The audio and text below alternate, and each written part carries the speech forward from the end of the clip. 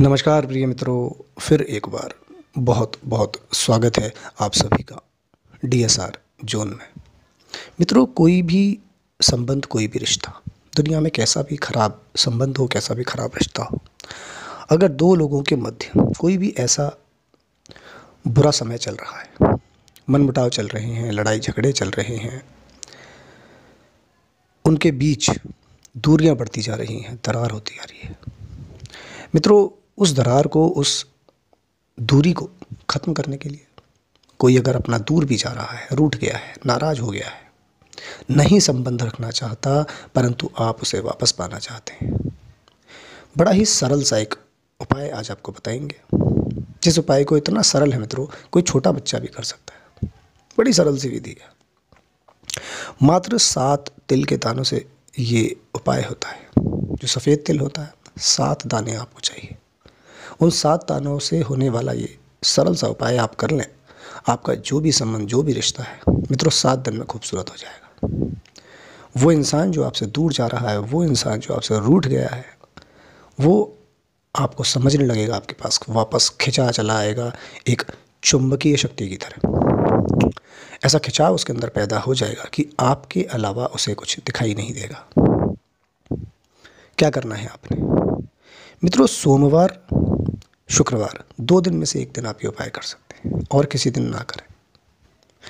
आपने क्या करना है? एक स्थान पर बैठेंगे, दिशा कुछ भी रखें, कोई भी दिशा हो आप उस पर बैठ सकते हैं। बस बैठने से पहले आपने क्या करना है? हाथ मुँह पैर अपने अच्छे से धो लेने हैं, स्वच्छता की हालत में ही इसे करना है। सात तिल के दाने अपने पास रखने हैं और एक रखना है आपने पीले रंग का छोटा सा कपड़े का टुकड़ा। कोई बहुत अधिक बड़ा नहीं, सात दाने बड़े छोटे होते हैं तिल के। आपने रखने हैं और एक रखना है पीले रंग का कपड़े का टुकड़ा छोटा सा। चौकोर हो, गोल हो, किसी भी आकार में वो कपड़ा हो, आप रख सकते हैं। धुला हुआ हो, नए कपड़े की आपको आवश्यकता नहीं है। आपने क्या करना है, जो सात तिल के ताने हैं, वो उस कपड़े पर रख देने हैं।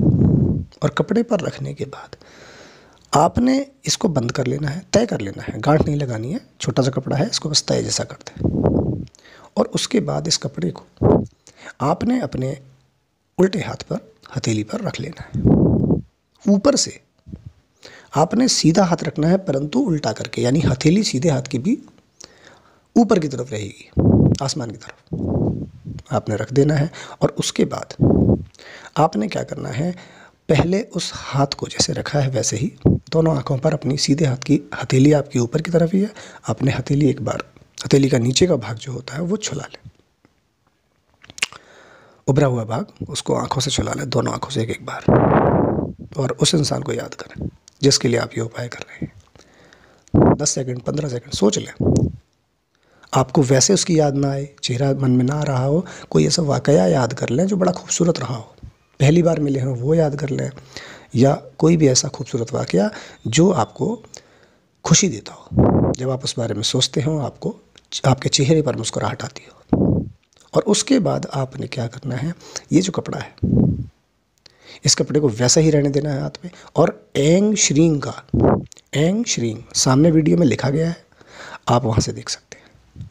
आँखें बंद करें। आँखें आपकी बंद ही रहेंगी जब आपने आँखों पर चलाया, आपने वैसा ही रखना है। एंग श्रींग का आपने ग्यारह बार उच्चारण करना है। जब आप इसे ग्यारह बार बोल लेंगे एंग श्रींग को, उसके बाद आप दाहिना हाथ उठा लें। कपड़े को वापस खोलें। जितने तिल के दाने हैं छः दाने बाहर निकाल लें। कोई भी छः दाने आप बाहर निकाल लें। उन छः दानों को घर की दहलीज से बाहर बिखेर दें। आँगन में कहीं भी आप बाहर जाकर भी बिखेर सकते हैं, थोड़ा अधिक दूरी पर भी बिखेर सकते हैं, हल्का सा आपके आँगन का आसपास का अगर जो दायरा है वो बड़ा है, आप बिखेर सकते हैं। ज़रूरी नहीं है आप बिल्कुल अपने दहलीज पर ही बिखेरें। अब आपके पास जो एक दाना कपड़े में रह गया है उसे उस दिन आप अपने घर में किसी भी अपने गुप्त निजी स्थान पर संभाल दें। कोई देखे नहीं, ताका झाकी ना करें, बस वो आपने गुप्त रूप से संभाल देना है। अगले दिन प्रातः जब आप उठेंगे, स्नान के पश्चात आपने वो धागा घर में नहीं रखना, घर से बाहर कहीं भी आप उसे किसी पेड़ के नीचे छोड़ा है। पेड़ हरा हो, सूखा हुआ पेड़ बिल्कुल ना हो, इस बात का विशेष ध्यान रखें। कोई भी पेड़ हो, पौधा भी हो सकता है, छोड़ दें। नहीं है ऐसा भी तो आप ईट के नीचे, किसी पत्थर के नीचे दबा दें।